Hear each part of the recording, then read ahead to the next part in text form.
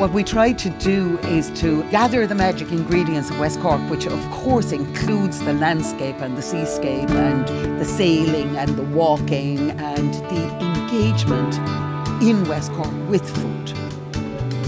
We build a lot of events around those magic ingredients so that people can have kind of adventures in a sense. It's to give the whole variety of experiences and to enjoy all the treasures that West Cork has. It's about food, but it's about storytelling, about music. It's just so creative, and that's what uh, enthuses me, that I just enjoy the difference in the event.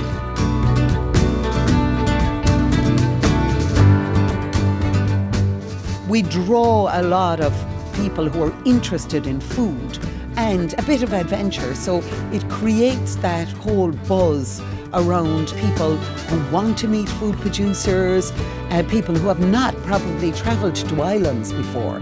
It's creating that accessibility. That special trip to Whiddy Island, you know, to experience all the history and joys of Whiddy.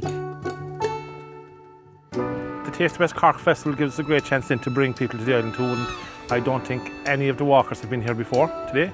So that's always good to show people the island for the first time, to show them the history in the island. We do a guided walk on the island, but we'd usually go the day before and we get some Bantry Bay mussels and we'd catch some mackerel and fillet them and, and smoke them in our own smoker here and serve that with, with brown bread afterwards. This is really what brings local tourism together, you know, somebody local doing the walk, selling the place, telling the story and the food. Oh, you know, fresh air and food and seafood, wonderful.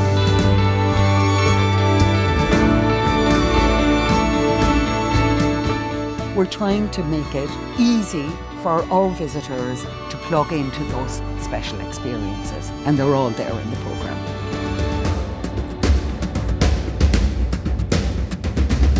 Tonight was a chance to showcase all the local producers and of course the main events with the lobster and the seafood, which is only landed two miles off of Courtmacsherry Bay.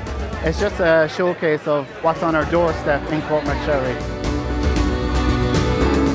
The story of the Caravino is that you're in a tiny caravan, but you're actually on a journey through the vineyards of Europe. So all the wines that you're going to be tasting are from family-owned wineries around Europe. I met a, a, couple from New York who were choosing between either Tuscany or a taste of West Cork for their food-themed holiday, and they chose here, and they kind of got the whole world.